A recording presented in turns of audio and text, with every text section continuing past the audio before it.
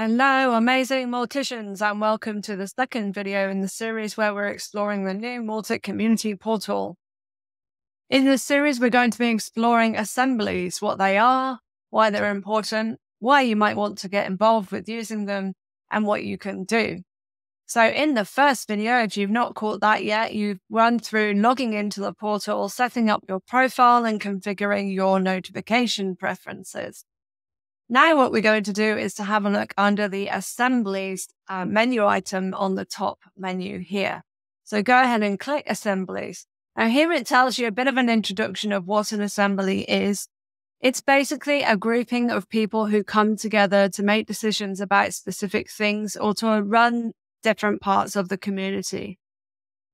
We have different reasons for having assemblies. So some of them are relating to governance. You'll see here we've got some highlighted assemblies of the council and the general assembly, but there's also assemblies for teams. So you will see here the community team, the education team, legal and finance, marketing and product team, and also things like Mautic meetups, which you'll see up here. And organizing things like MautiCon has its own working group, which has its own assembly. So a few things just to bear in mind. An assembly can actually have assemblies within it. So you can nest groups within groups and that goes down to quite a long way. So you'll see here within the community team, we have two assemblies within that community team. So let's have a look and see what this is. So the community team it tells you again, you can dismiss this box if you don't want to see this. At the top, there's always a hashtag associated. Throughout the whole of this platform, there'll be a hashtag. If we want to, we can hide this box. This tells you about the team or the assembly or the working group or its reason for being, basically. It explains to you what the team does, what the tasks are, why it exists, really and it tells you how long it's going to last for because sometimes they will exist for a finite period of time to do a particular thing.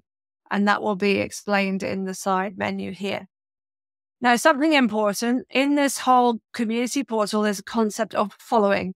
If you follow something, you will get updates whenever there's changes in that thing that you follow. So if we were to follow the community team, anytime there's a new meeting organized or a new blog post or anything like that, we will get pinged to let us know.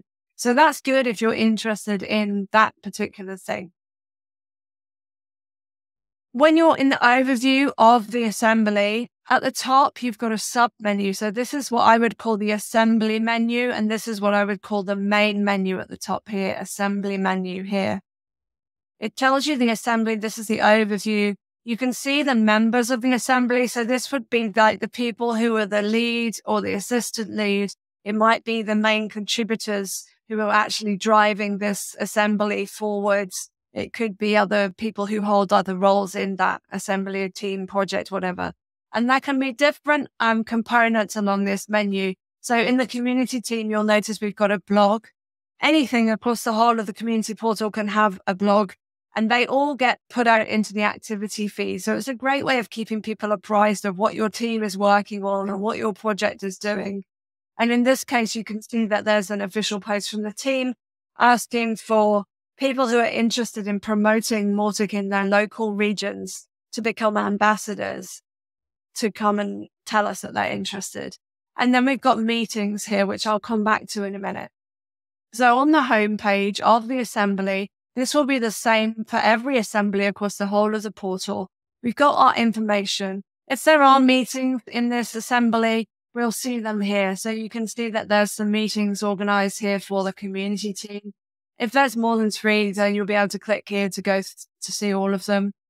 If there are assemblies within the assembly, they'll be listed here. So you can see Mautic meetups and MautiCon working group because the community team is responsible for everything that is to do with the community. And that includes organizing MautiCons and it includes supporting and facilitating Mautic meetups. And as I mentioned, they can also have assemblies within them. So you see that the Mautic meetups assembly actually has five Mautic meetup groups within it. And then there's some stats at the bottom, which we're not too worried about. So if we go into the meeting, so we'll have a look at this one, for example. It will tell you over here about the date. I'll just cancel this just to make it easy to show. So you can see information about the meeting, like what's going to go on in the meeting. You can add comments here and I can join the meeting here to indicate that I want to attend. An important thing that we need to bear in mind is within this community platform, you can act as yourself, but you can also act on behalf of, say, a team that you represent or a working group that you represent or a tiger team that you represent. So if I join this meeting, I can join this meeting as myself, but I can also check this box and it gives me the option of all of the teams that I'm actually a part of, which are groups, which I'll explain in a later video to say that I'm actually representing this team, this group, this tiger team, this whatever, uh, when I attend this meeting. And then there's a checkbox to say, show my attendance publicly.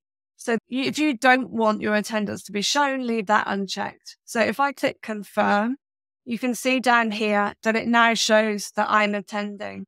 If I cancel that registration and then I register and say I represent the marketing team, say I'm joining the community team on behalf of the marketing team, show my attendance publicly, then you can see that it's showing my attendance actually as the marketing team rather than just me personally. So you know that there's a representative of the marketing team who's coming to that meeting.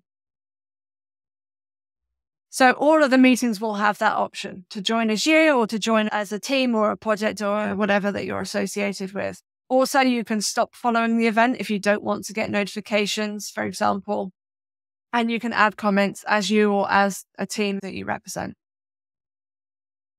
So that's meetings. Meetings are the same across the whole portal. And when we go to this meetings tab, we can actually see all the meetings for this team. These are upcoming meetings, but we can also show all meetings. So it will show us past ones as well. And when a meeting closes, you can actually close and say what was discussed. You can share a link to the minutes. You can share what proposal you, you discussed in that meeting and what was accepted and what companies attended and all that kind of stuff. So there's lots of things that you can do. So that's assemblies basically. And you'll notice that some of them are slightly different. They're organized slightly differently. Um, but you can go and have a look to your heart's content and explore what the different assemblies do. Um, when you look at this view, you'll always see the next upcoming meeting. So it's always easy to see the next upcoming meeting for a team if you're interested in joining or assembly or what have you. I think that's all we need to go through as regards to assemblies. We'll do some different um, in-depth videos on the council and the general assembly and things like that. If you have any questions, please drop them in the comments. That's great. Thanks very much.